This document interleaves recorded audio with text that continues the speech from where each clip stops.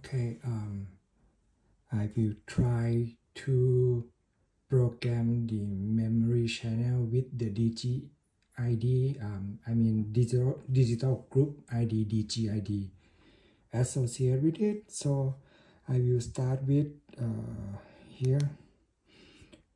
I am in VFO mode, right? So, yep, yep, VFO mode. Uh, the frequency is set 43495 and then I will hold the mode button until the DG ID coming in.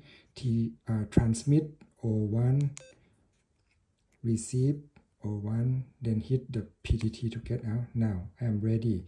Uh, hold V slash M and I will try to program it to channel number 11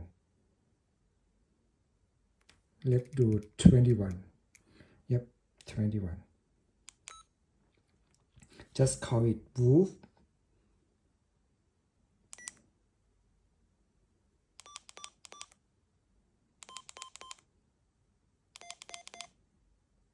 and oh. yep. And then number 21 is woof now back into the VFO now I will program channel number 22. Everything the same, but I want channel number 22 to have DGID number 2, receive 2, paste the PTT out of it, hold V slash M number 22.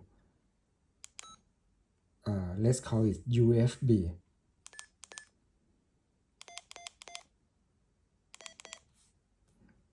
And hold V slash M. Okay, so that number 22, number 21. I am in the memory number 21. If I hold down the mode button, the DGID is still number 2.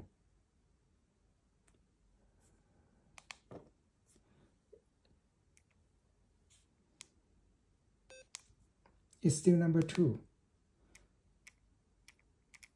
no matter memory channel, the DGID doesn't change. Um, what I am doing wrong.